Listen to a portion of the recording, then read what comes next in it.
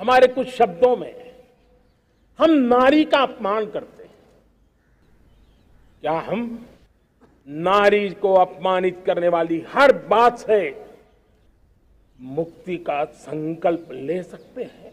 अभी प्रधानमंत्री ने बोला लाल किले से स्वतंत्रता दिवस पर कि ऐसे अपशब्द नहीं बोलने चाहिए जो महिलाओं का अपमान करते हैं। आपको क्या लगता है? कितने सारे भक्त मोदी के फ़ैन हैं? क्या ये बात उनकी मानेंगे? नहीं। मानना चाहिए।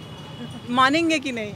मानना चाहिए बस। नहीं नहीं ऐसा नहीं है। सिर्फ़ बातें जब तक सुनी जाए तब तक मानी जाती है उसके बाद फिर सब वो हवा हो जाती है। क्योंकि ये एक पर्टिकुलर एक घर टू घर नहीं है। या तो इंसान जिसको बंद करनी है वो खुद ही बंद करेगा किसी के भाषण से बंद नहीं करेगा। अब नहीं मानने वाले तो फिर वो कभी नहीं मानते हैं। मोदी जी की बातों को तो लोग एक कान से सुनते हैं दूसरे कान से निकाल देते हैं। अब ये तो जो मोदी भक्त हैं वही बता सकते हैं।